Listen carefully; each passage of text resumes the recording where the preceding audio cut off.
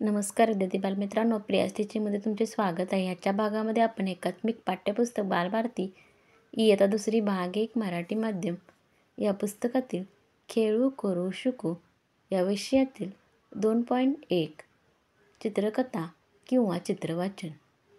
पान नंबर आहे चौऱ्याहत्तर. याचा अभ्यास आपण आज करणार आहोत. पुढे जाण्याअगोदर आमच्या चॅनलला लाईक शेअर सबस्क्राईब करा. आणि बेल दाबायला विसरू नका. म्हणजे पुढच्या भागाचे नोटिफिकेशन तुम्हाला मिळत जातील.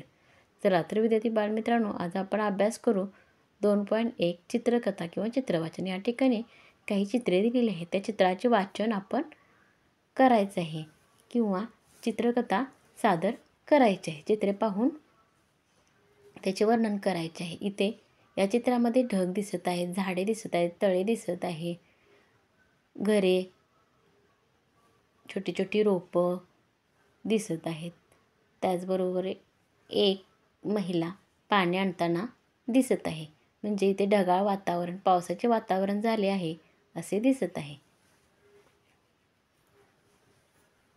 त्याचप्रमाणे दुसऱ्या चित्रामध्ये आपण पाहू एक मुलगा आणि एक मुलगी झाडा झाडे लावत आहेत किंवा झाडाचे रोप लावत असताना दिसत आहे. आणि त्या रोपाला पाणी घालत आहे असे दिसत आहे. बालमित्रांनो तुम्ही देखील एक तरी झाड लावले पाहिजे आणि त्याचे संगोपन केले पाहिजे. झाडांना पाणी घालणे खत घालणे त्याची देखभाल करणे हे कार्य तुम्ही केले पाहिजे. या ठिकाणी या चित्रामध्ये उंच झाडे दिसत आहेत. म्हणजे मोठी झालेली झाडे दिसत आहेत. ढग दिसत आहेत. डोंगर दिसत आहे. म्हणजे इथे हे एक जंगल दिसत आहे. अशा प्रकारे झाडे लावल्यानंतर तिथे ढग अडवले जातात आणि पाऊस पडण्याची शक्यता वाढते. त्यामुळे आपण झाडे लावली पाहिजेत. आता या चित्रामध्ये काय दिसत आहे पहा. ते घरे दिसत आहेत. इथे बैल चरत असताना दिसत आहे. नदी दिसत आहे. नदीतून पाणी वाहताना दिसत आहे. या पाण्याचा उपयोग पिण्यासाठी प्राण्यांसाठी शेतीसाठी आपण करत असतो. त्याचबरोबर कारखानदारीसाठी देखील पाणी वापरतात. पिण्यासाठी पाणी वापरतात. इथे काही स्त्रिया देखील दिसत आहेत. पाण्यामुळे नदीकाठी गवत उगवून आलेलं आहे. त्या गवताचा उपयोग पाळीव प्राण्यांना चरण्यासाठी होतो. त्यांना गवत मिळते.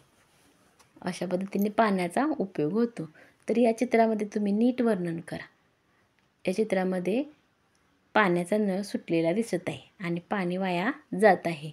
असे पाणी वाया गेलेले चांगले का वाईट तुम्ही सांगा बालमित्रांनो. पाणी म्हणजे जीवन असते आणि असे पाणी आपण वाया घालवायचे नसते ते काटकसरीनं वापरायचे असते.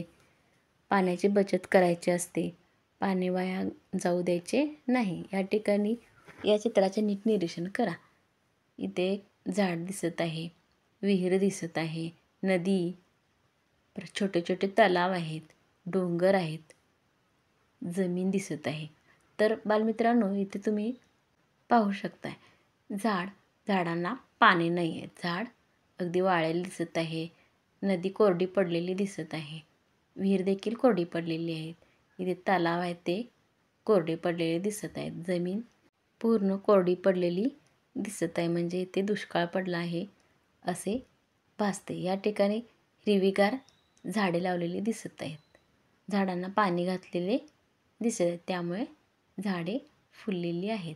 इथे ढग आलेली आहेत. म्हणजे इथे थोडे हिरवेगार वातावरण दिसत आहे. या चित्रामध्ये तुम्ही नीट निरीक्षण करा. या चित्रामध्ये मोठे झाड आहे. मोठमोठी झाडे आहेत. हिरवेगार दिसत आहेत. आणि नदी वाहताना दिसत आहेत. पक्षी उडताना दिसत आहेत. म्हणजे इथे नुकताच पाऊस येऊन गेला आहे असे भासत आहेत. तर बालमित्रांनो या पाण्याचा उपयोग आपण आता पाहिला. पाण्याचा उपयोग पिण्यासाठी होतो. कारखानदारीसाठी सांडपाण्याचा उपयोग देखील आपण करत असतो. जसे शेतीसाठी पाण्याचा उपयोग होतो. असे वेगवेगळ्या कारणासाठी पाणी हे आवश्यक आहे.